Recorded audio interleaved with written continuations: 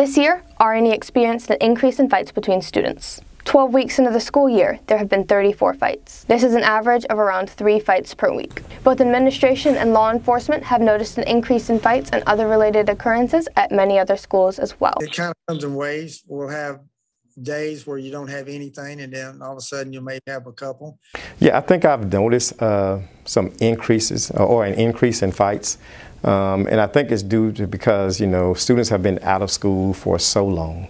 Local law enforcement believes one of the reasons behind the increase in fights is the rise of social media. A lot of it becomes as a result of something on social media where somebody has said something on so- social media and then it escalates until where there's a physical confrontation. In the past few months, administration at both Richland Northeast and Spring Valley High School found guns on campus. According to an October 26th police report, a school administrator notified school resource officers that she found what she believed to be a gun in the bag of a 14 year old male student. A loaded handgun was found by deputies. One, safety is first. Um, if you have a problem or issue, we hope that you are able to converse or speak with someone in the building to help you resolve it before it gets to a physical altercation. On November 5th, deputies found a student in possession of a gun at Spring Valley High School. The student was charged with breach of peace of a high and aggravated nature and carrying a firearm on school grounds. We only use force necessary to, uh, to solve a situation.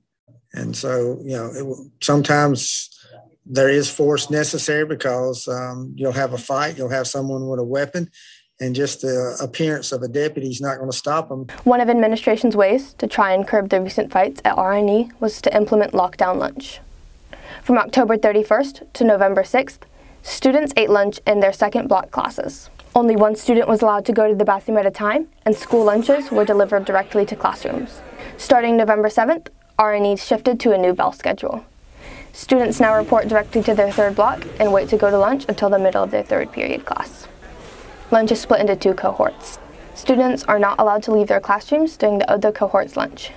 Students have varying opinions on the new lunch schedule. I really like it because my friends are in different cohorts. It's looking like it's a little better, um, and my students have reported that it's a little more peaceful at lunch. With the new changes present, administration hopes to help curb incidents at RNE. At least now with the two lunches, you kind of have that moment to just kind of breathe and be able to, to spread out and just kind of enjoy each other.